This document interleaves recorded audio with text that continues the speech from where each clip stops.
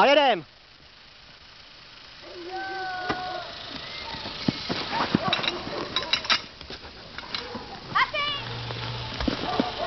Ty při nejdivočejších hrádkách vždy myslím na ochranu.